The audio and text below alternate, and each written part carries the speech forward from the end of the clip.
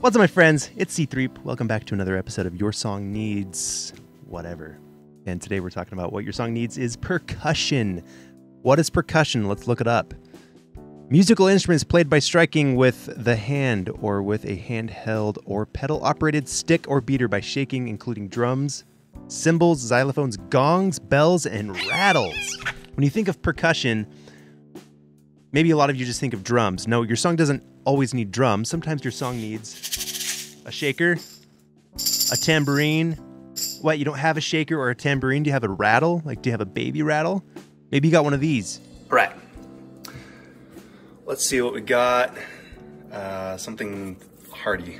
Crushed red pepper. Oregano.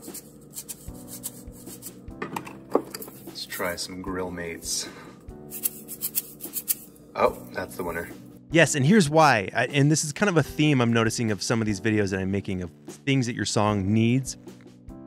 You need movement. Your song needs to feel like it's progressing in different parts of the song. So I've got the song that I've been working on that the first uh, verse and chorus is very, very mellow. It's just piano.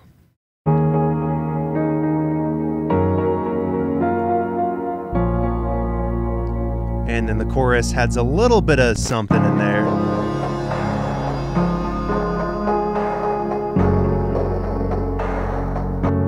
But the song is kind of building up to something, and when the verse hits, I have the drums come in, which is percussion. But specifically, when I'm saying percussion, I'm really leaning towards like the shaker side of things.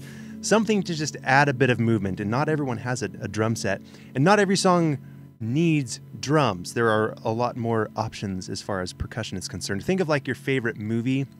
Um, a lot of like epic movies have a score. They have a soundtrack. Think of any uh, movie made by like Christopher Nolan, who uses Hans Zimmer a lot in his movies. Hans Zimmer doesn't have like an actual drum set with a drum beat going on. He has percussion. He'll have just things that add to the the movement and the beat, but not necessarily being a drum set. So. Um, this song, like I said, the verse comes in and I do have drums, but uh, let's hear it without any. What I've added is tambourine, um, but I'm also going to get rid of it and then record it with this, so you can just hear that it actually works. Here's the uh, the piece here, heading into the verse.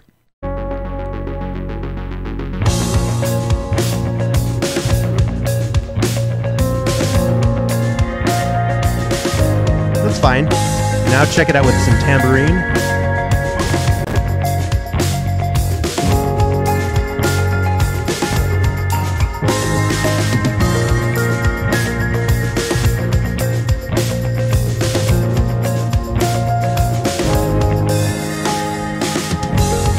So you feel that movement going on. It just like, uh, it really helps take it from the mellow sound that you had in the first verse and chorus with just a piano with not much else going on. And then boom, that verse hits and that tambourine helps add um, a subconscious feeling of, hey, this song is, it makes you want to tap your foot kind of a thing. So let's pretend like I don't have a tambourine.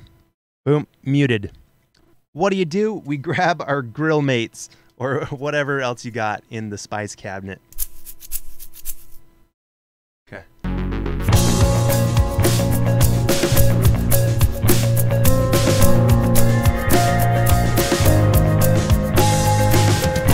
Now let's do a little bit of mixing. Let's let's make it so you can actually hear the timbre or the the grill mates. So I'll show you a couple things that you're going to want to do with a lot of these kind of shaking percussive instruments like a tambourine or a shaker, there's things that I tend to do every time when I'm mixing it. They have more low end than you really want.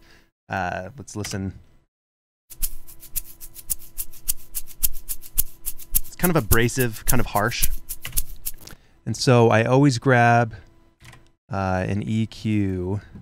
And I don't really boost any EQ. Again, an EQ is just a tool that lets me get rid of certain frequencies that I don't want or add certain frequencies that I think can help that part stand out a little bit better. In this case, what I want to do is really get rid of a lot, a lot. Um, we're going to get rid of all low end, low mids, and a lot of the mid range. Um, and just keep some of the high stuff. In fact, I might even take off some of the really high stuff. Um, let's listen to what it sounds like.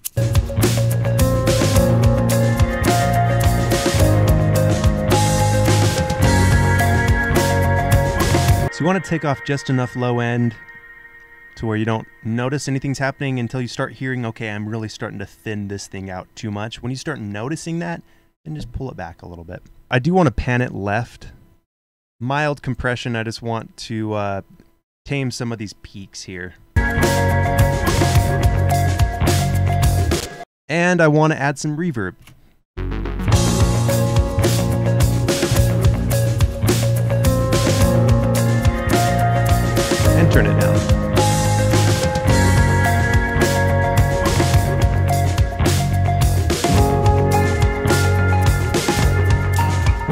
Lot of what ultimately makes a song good is the subconscious things happening. Most people that listen to your music, they're just listening to the vocals, which is the song I still have. I'm I'm starting to record some, but it's not on here yet.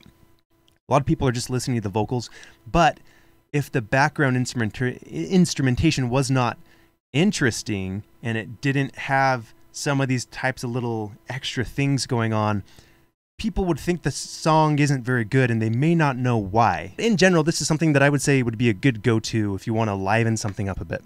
And that's it. Bye.